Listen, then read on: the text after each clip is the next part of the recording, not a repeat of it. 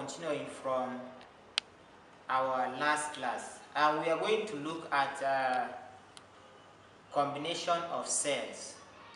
And you know that cell can be in series, it can be in parallel. So when you connect cell end to end, that is uh, series. When you connect cell uh, side to side, that is parallel. So let's see. But we know that this is a symbol of a cell. This is the symbol of a cell. Then the longer one is a positive, short one is a negative. So series, when two cells are connected in series, this is how they look like. E1, E2, E3. So, and each of these cells has what we call internal resistance. And we say that we have defined internal resistance, that internal resistance is the opposition offered by the electrolyte to the free flow of current. 3. So total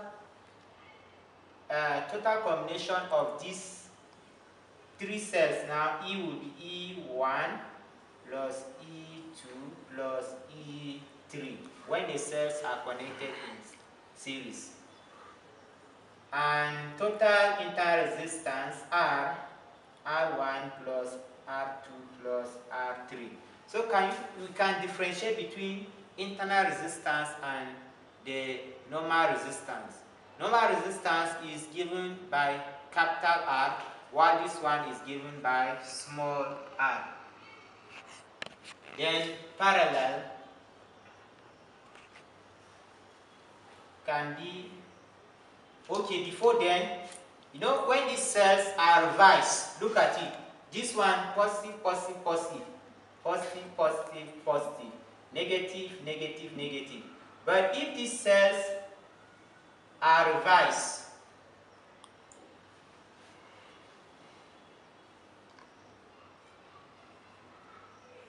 you notice something?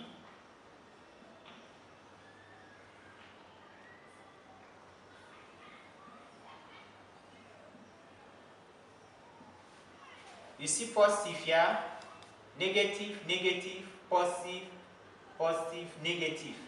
But you see this one positive positive positive negative follow negative negative so the combination of this one now will be e1 where we have uh, reverse.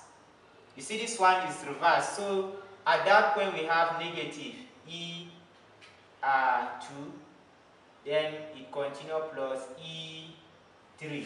So look at it where we have reverse, then you write negative. But the resistors have no polarity, so it remains the same. Then the parallel is like this.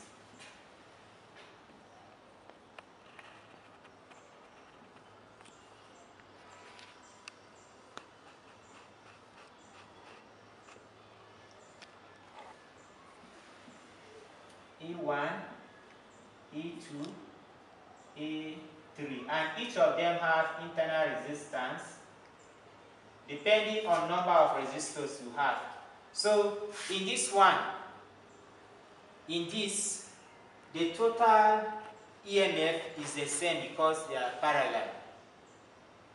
But internal resistance 1 over R1 plus 1 over R2 plus 1 over R3. So in this one, the resistors are inverse or the reciprocal.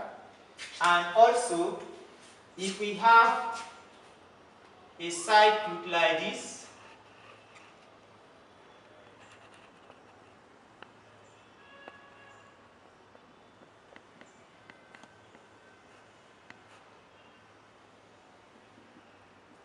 So whenever you see this one, this one is telling you the internal this area now is telling you the internal resistance.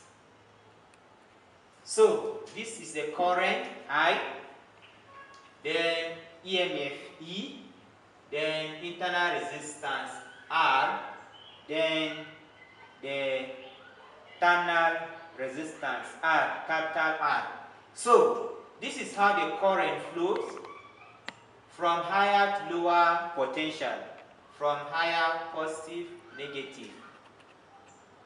So this one here, we are following this one, this is positive, negative, positive here, negative here. So if we are entering through, if we are entering through positive and going out through negative, the sign we meet first, we take that. Is that okay? The sign we meet first, we take that.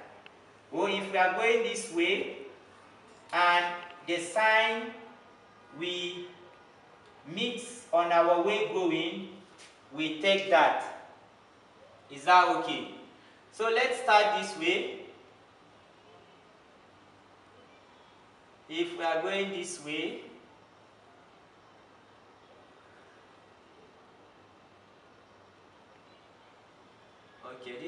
negative, negative. Sorry, negative, positive, negative, positive. So if we are going this way, the sign we meet from our going, we pick. From here we meet positive, so we pick positive. E then here we are going out through negative. There is voltage drop here. So this is minus IR. Then coming up here, we are going out through negative here. We have minus I small r and total 0. Is that okay? So at the end of the day, E is equal to I. We take these two to the other side, IR plus I small r. But from Ohm's law, we say that I capital R is V. V is equal to I capital R.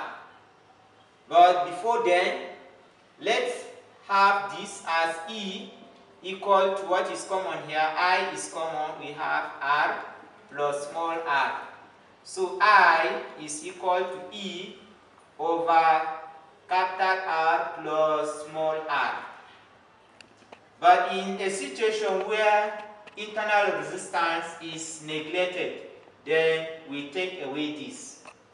But if we consider internal resistance, then this one will follow.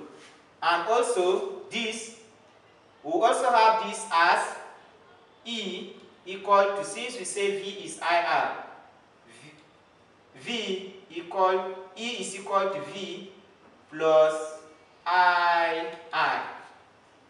So we call this one terminal velocity. This one is voltage drop across the resistance. Then this one is voltage drop across uh, internal resistance. So these are equations that may be used to solve different questions. If you are asked to solve for current, use this one. When EMF is given, then resistance is given, and internal resistance is given. So we'll stop here and we'll continue in our next class by solving some questions. So I hope to see you. Thank you.